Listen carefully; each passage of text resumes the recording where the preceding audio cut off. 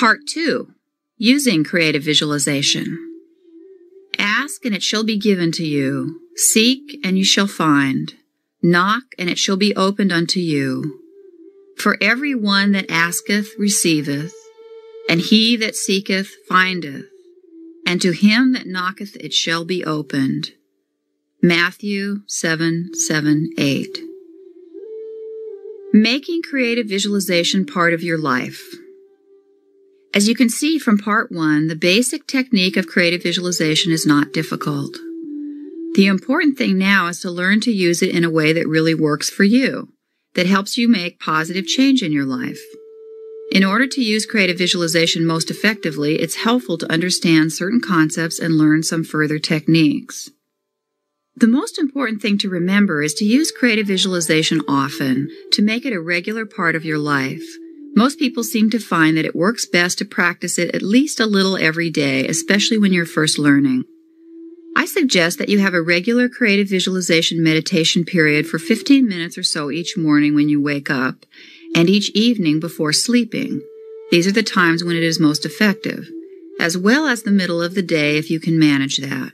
Always start your meditation periods with deep relaxation, then follow with any visualizations or affirmations you wish. There are many different ways that creative visualization can be used, and it's up to you to remember to try them at appropriate times. Conscious creative visualization may mean a new way of thinking and a new way of living. As such, it will take some practice. Try it out in different situations and under different circumstances, and use it as often as you can for any type of problem solving. If you find yourself worried or puzzled about anything, or feeling discouraged or frustrated about a problem, Ask yourself if there is a way you could use creative visualization to help you. Form a creative habit of using it at every appropriate moment. Don't feel discouraged if you don't immediately feel totally successful with your creative visualization. Remember that most of us have years of negative thought patterns to overcome. It takes time to change some of these lifelong habits. And many of us have some underlying feelings and attitudes that can slow us down in our efforts to live more consciously. Fortunately, creative visualization is such an innately powerful process that even five minutes of conscious, positive meditation can balance out hours, days, and even years of negative patterns. So be patient. It has taken a lifetime to create your world the way it is now. It may not necessarily change instantly, although it often does. With perseverance and a proper understanding of the process, you will succeed in creating what seem like many miracles in your life. In the following chapters, I give you many different techniques, ideas, exercises, and meditations. Choose the ones that feel right to you and seem to work for you. There are many different levels and approaches to the creative visualization process, and I have tried to include a wide variety of possible practices. In any given situation, one may be appropriate and another may not.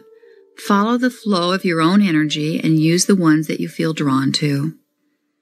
For example, in a certain situation, you may try to do affirmations and find that you simply can't repeat them, or you don't feel they are accomplishing anything. In that case, you might want to try a clearing process, or get in touch with your inner guidance and ask for clarification, or just let go for a while and focus on other things. What works at one time may not at another. What works for one person may not for another. Always trust yourself and your own deepest intuitive feelings. If it feels like you are forcing, pushing, exerting effort, or straining, don't do it. If it feels helpful, releasing, opening, strengthening, enlivening, inspiring, do it. Being, doing, and having. We can think of life as containing three aspects, and we can call those aspects being, doing, and having. Being is the basic experience of being alive and conscious. It is the experience we have when we're fully focused in the present moment, the experience of being totally complete and at rest within oneself. Doing is movement and activity. It stems from the natural creative energy that flows through every living thing and is the source of our vitality. Having is the state of being in relationship with other people and things in the universe. It is the ability to allow and accept things and people into our lives, to comfortably occupy the same space with them. Being, doing, and having are like a triangle where each side supports the others. They are not in conflict with each other. They all exist simultaneously. Often people attempt to live their lives backward. They try to have more things or more money in order to do more of what they want so that they will be happier.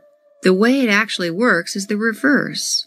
You must first be who you really are, then do what you need to do in order to have what you want.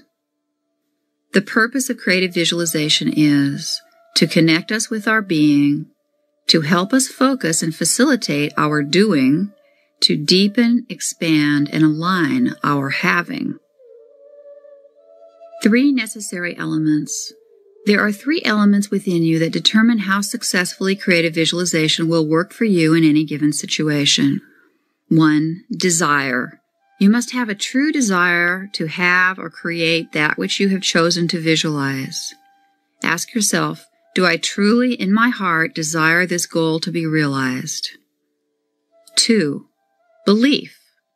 The more you believe in your chosen goal and the possibility of attaining it, the more certain you will be to do so.